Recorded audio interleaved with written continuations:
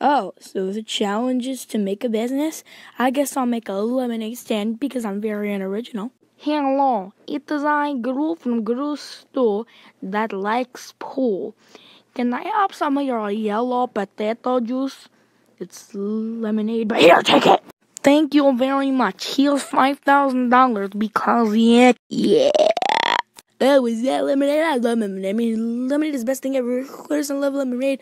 I don't know. Whoever doesn't just probably never tried it. Anyways, do you know what lamppost starts? I love lampposts. I like the little shiny. Just take it and give me the money. Okay, here's the money. You know, money's kind of a bad thing because because even though it makes the world get round, it makes people flatter. Just go. Okay, bye. After one week of selling lemonade, Lucas went into bankruptcy for pooping in the lemonade and serving it. Now he has one dollar.